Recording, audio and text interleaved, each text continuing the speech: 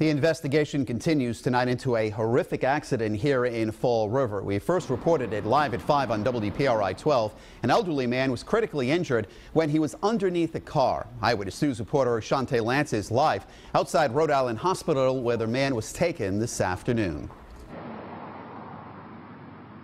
Mike, that's right. That elderly man has been here at Rhode Island Hospital for about 12 hours now. Fall River police say that he actually was uh, continues to recover tonight after he was struck and pinned by his own family member. Shockwaves tear through a quiet, close-knit Fall River community after police say a vehicle accidentally struck and pinned an 84-year-old man outside of his own home on Pittman Street. It's really sad because I've always seen him and his wife. I couldn't believe my eyes. Neighbor John Costa lives across the street. I said hi to him, so I started walking down the street, and uh, I got a little ways down the street, and all of a sudden I heard tires screeching and a big bang. Police left these orange marks where neighbors say that pickup truck was running before it accidentally accelerated and hit that 84-year-old man and pinning him to a red SUV.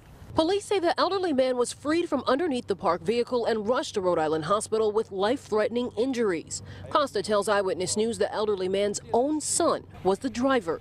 Police say the vehicle may have had a mechanical issue. This was a bad day you know, just really a bad day for him. And I just, I'm praying that he's gonna, you know, he's gonna be okay. I hope he's gonna be, you know, do good and make it through this. And the second cousin of that victim tells me that a lot of their family is here tonight. They say they're remaining hopeful. Reporting live at Rhode Island Hospital with the Providence Mobile Newsroom, Shantae Lands, Eyewitness News.